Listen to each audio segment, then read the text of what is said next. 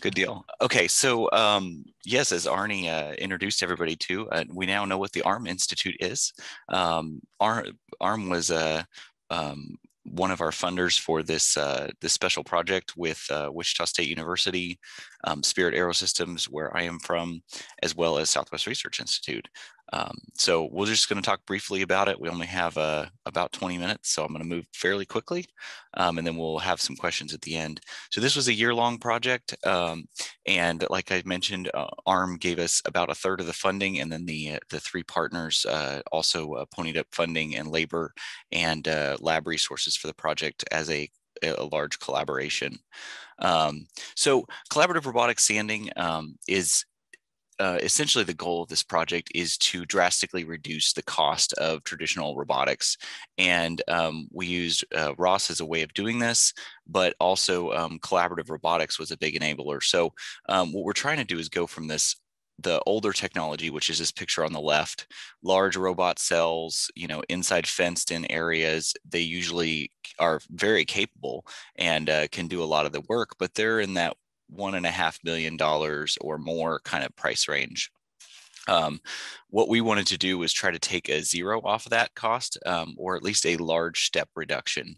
Um, and so our target was a collaborative robotic sanding cell that doesn't need fences, doesn't need uh, large safety systems uh, or foundation work, and you could continue work right alongside the, ro the robot um, so it would be considered human safe. So um, there's other benefits, of course, that we could get from this, uh, quick deployment into the production environments, um, new work statement can be added easily. ROS is one of our enablers for adding new work statement. Um, we want to increase productivity out, out in the shop. That's always the target of, um, of all of our automation projects. Now, this project is kind of specifically, uh, we're taking a step back from the, um, the goal to fully automate everything. Um, we're realizing that that's very difficult to do. And so for this project, we, we're only really targeting 80% of the work statement and then keeping the human operator in the loop for things like touch up, inspection, and uh, doing identification of areas that would need rework. This saves a lot of cost and a lot of complexity for only losing about 20% of, of the capability. So that's part of how we get that, that step change reduction in cost. One of the things uh, also enables is uh, to eliminate the traditional NC programming path, which is very expensive and requires very skilled um, NC programmers. So with the automated path planning portion of this, we don't have to have um, the traditional NC programming path. So this is uh, kind of what the cell ended up looking like. Um, we have these parts here, they're in a cell panels, and we use two robots uh, um, uh, we only actually used one of them as part of this project since it's a proof of concept, but the cell's designed to hold two robots to sand approximately half the part per robot. Um, we do need to replace sandpaper pads. So you'll see in the video later, we've got these uh, um, sanding end effectors on the right side of the, the cell that the robot can kind of pick up and drop off uh, to get a new sandpaper pad and continue sanding. The way the cell operates, um, you'll notice our concept of operations has kind of different color codes here. So the red operations are the manual processes that the, the human needs to be involved in. Um, and then the blue processes are typically uh, the automated processes uh, using ROS. So um, the part can be moved into the booth. Um, then in step two, we do a recognition and simulation step. So we use a, uh, um, a vision system to see the part and uh, um, do a frame transformation to uh, move the part to where it, it is in the cell. Then um, the, the ROS system does the path planning with um, the CAD data that we have already. Um, it'll use the, the paths that are on the part in CAD. And now that it knows the part's in a slightly different location, it can redo um, and do path planning and uh, simulation of uh, any collisions and things like that. Um, after the operator approves that, the robot will go and sand. Um, it uh, may need to move the rail depending on the part size, but uh, um, we do a collaborative uh, process so the, the operator can be in the cell at the same time. Um, he can do different sanding operations or, um, you know, reload those sanding end effectors with more sandpaper. When it's complete, uh, the system will request an inspection from the operator operator. The operator goes and basically looks at the part, uses his uh, um, high skill to identify areas that need to be resanded or, or have an ad additional sanding done on them. He can mark on the part with like a, a Sharpie marker essentially. And then in step five, we'll use the same vision system we used in step two to uh, take pictures of the part, recognize where those uh, circles are or those closed shapes on the part. And uh, the ROS system can do a uh, crop of the tool paths so that it only needs to sand and only will sand those um, areas that were circled essentially. And it'll re-simulate that, revalidate it that it's not a collision-free paths and then do the resanding. So it kind of jumps back to step three. Um, the operator can choose to repeat this process multiple times, or if it's getting close to kind of the final stage where he can simply uh, um, do a quick manual touch up in step seven. Um, after that, we unload the part and the operation's complete. So I'm going to focus mostly on the ROS side. Obviously, there was a lot of um, uh, hardware development and and other things, but since this is primarily ROS uh, um, interest, I'm going to talk basically about that. So um, these are all the different tasks that we do with ROS. So we do, um, you know, we've got scanning, registration. Um, there's a motion planning element, obviously. Uh, the process execution itself uses uh, force feedback from the robot. So we're using a UR10E, which has the integrated force uh, feedback capability. Um, and then the finally the rework detection where, where we um, detect those regions drawn on the part by the human. So this project um, the team wanted to use ROS 2 um, and develop in ROS 2. So you'll notice that in this purple box here, the, the vast majority of the project is, is developed in ROS 2.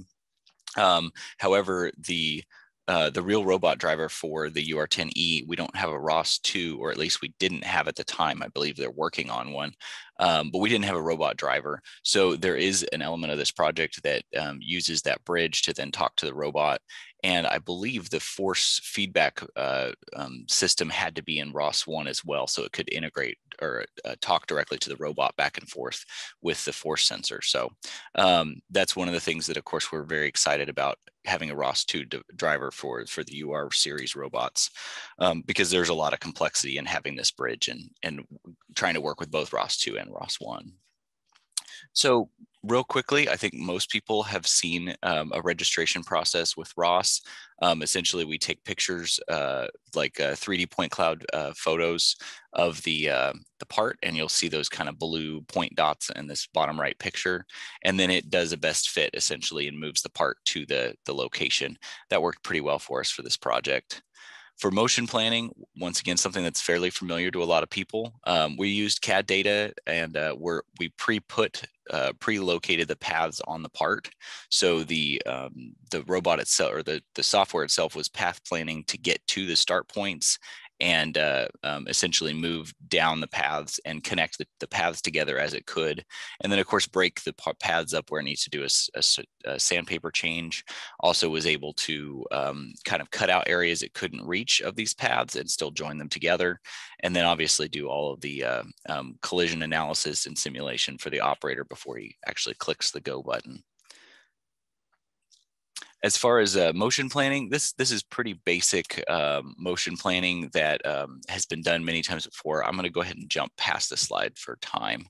Um, talk about rework detection. So this is uh, um, pretty advanced in my opinion. The way we were able to, uh, the team was able to uh, take these pictures of the human marked regions on the part and kind of extract those those regions out, crop the tool paths, and then uh, um, do a, a, uh, a repath plan to, to only touch those areas. And you'll see that in the video here in a minute. Um, the SwRI team used OpenCV uh, to filter these pictures and uh, kind of uh, dilate and uh, and uh, they use the canny edge detection method um, to see these different regions. And then um, to get that from um, to, to, put it into 3D, um, they used the the point cloud library to basically uh, you know get get rid of uh or add that uh 2d image into a 3d shape so that they could put vectors on the part. And that's what you see here in this bottom right picture is the the vectors uh from the the 2d picture paste onto the 3d point cloud essentially. Um, For the force controlled trajectory execution, um, the the forward dynamics compliance control was um, essentially used the the force feedback uh, from the robot and dynamically adjusted the targeted waypoint uh, that the the robot was being uh, directed to go to. I think this picture shows it um, in in more reasonable uh, or easy to understand terms. So so essentially, to to make the robot speed up or slow down, you can move this red target waypoint to make the you move it further away from the tool, and it'll it'll command the robot to move faster to try to try to catch up to that target. And then if you put the target underneath the surface, the uh, the robot will start pushing downwards on the on the part, and so the the distance uh, either above or below the surface can uh, um, essentially uh, control your force feedback. So and that that was working in ROS one if I if I didn't uh, say that incorrectly. Okay, so here's the video here. Um, this is our demonstration video and uh, I have it playing at 2x speed because we just don't have that much time. It's a it's a six minute video normally. so uh, you'll see we've loaded the part into the cell. Now um, we're taking pictures with the, the camera that's on the end of the robot. Um, that's your uh, it's a Framos camera, but it's your typical uh, um, it's an industrial application of the uh, the Xbox Kinect type sensor. Um, so we've got those point clouds on the part, and now it's uh, re-registered the part in its uh, correct location. Um, now it's doing some very quick uh, uh path planning, and here's the simulation that uh, the operator gets to see before he clicks the, the go button. You'll notice there's a sandpaper change there, and then it will continue with the path plan. The operator will say, yep, this looks good. And uh, now we see the robot actually doing the sanding. On the top left, we've got a graph where we were able to see uh, how we were doing with the force control. Um, it's not super accurate and with a lot of uh, a lot more work, we could have probably got it more accurate. Um, the green line is is what's uh, um, the actual resulting force, and then the black line is what we're trying to target at. So you'll notice we we do vary. Um, it was uh, eight pounds of force that we were targeting, and and we could vary as as much as a pound or so either direction.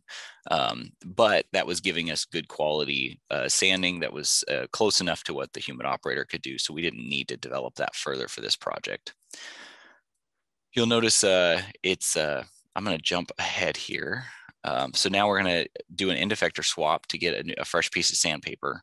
And the way this worked is the the ROS program would put it in the uh, um, the home position for that sandpaper uh, change uh, program, and it would call the program that's that resides as a teach program on the uh, the Universal Robots uh, system and then it'll continue to sand. I'm going to jump ahead again and you'll notice it's sanding again. For the sake of time, I will jump ahead a little more. After this um, initial sand is when you'll see the, the human operator come in here. Um, the operator basically does that, um, that look at the part, he cleans the part off and then does an inspection. Um, for this project, I'm just drawing some circles on the part and some squares, different shapes for the robot to, to look at. And you'll notice it, uh, it takes pictures of those uh, with the same camera that we used before. Um, we were using four different pictures for this and we were able to get good coverage of the part. Now you'll see those pictures come in very quickly on the screen and then they, uh, um, once they're filtered out, they give these sections on the part to click and we were able to click these different sections and now it's got those cropped paths and it's doing the simulation of, of what that'll look like. And then it does the, the actual resanding itself.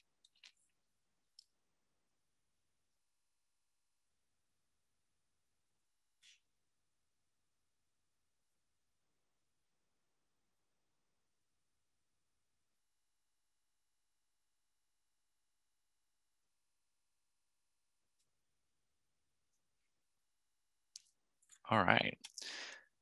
So um, some of the tests we did just to kind of show you uh, without just seeing the video, we were able to move this part around in the cell and uh, and re-register the part in many different locations. Um, so that worked really well for us. You'll notice in this picture here, we've got it completely off angle from where it, it thinks it is, where the seed pose is, and it was able to, to register properly. Um, that worked really well.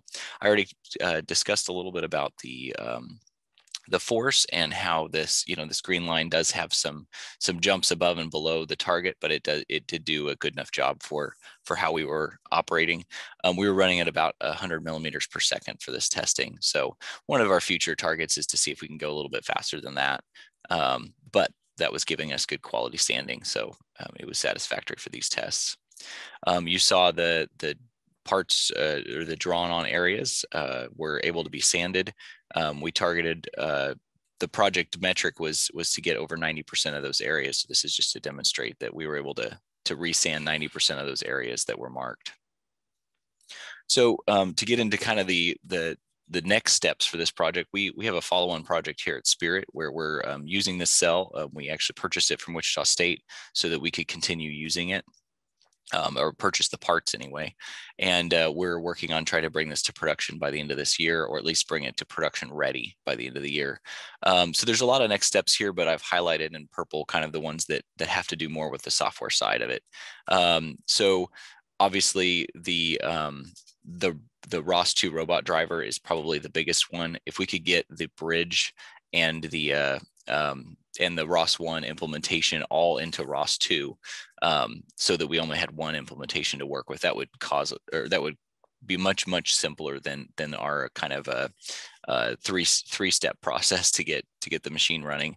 Um, we do need some better handling of the UR robots and the way ROS um, path plans around singularities.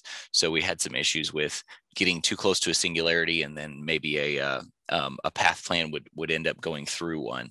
Um, the the universal robots do have some issues with how large their singularity uh, zone of confusion actually is. Um, so some some work with that would help. Um, the project wasn't really uh, um, user interface intensive, so um, we need for production we need a, some some GUI improvements. Um, there's some fault recovery improvements that need to be made. Um, you know, it, it was a, a, proof of concept cell to TRL6. So, so there's some work that can be done to make it more user friendly. We talked about uh, speeding up the efficiency of the cell, um, and that's a lot of what's needed for production is to kind of go from this um, this lab setup to a, a production environment. Um, we need we need to speed up how quickly we can process uh, the path process, the path planning, and the simulation checks, and then also even the um, the the photo taking steps to to uh, um, do the uh, the rework detection and do the uh, uh, part localization. Those those could be done quicker, we think, with some cell mounted cameras instead of moving around the, the robot to take those pictures. Um, some pre-packaged routines and paths would really help with the reduce the path planning load. Um, that way there isn't so much uh, so so much processor time that we're waiting on. And then obviously I mentioned before, if we could speed up how quickly we can move on the part, that would really help our cycle time. So um, that's the the really fast version. I, I know I only had 20 minutes, so I, hope I honored that, or was at least was close to that. Does anybody have any questions for us?